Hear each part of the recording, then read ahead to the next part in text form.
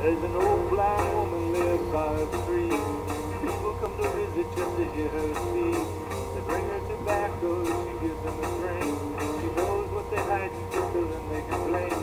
People come to visit and they're hoping to know how to live the way, bearing on their souls. All the pieces and she picks them back up.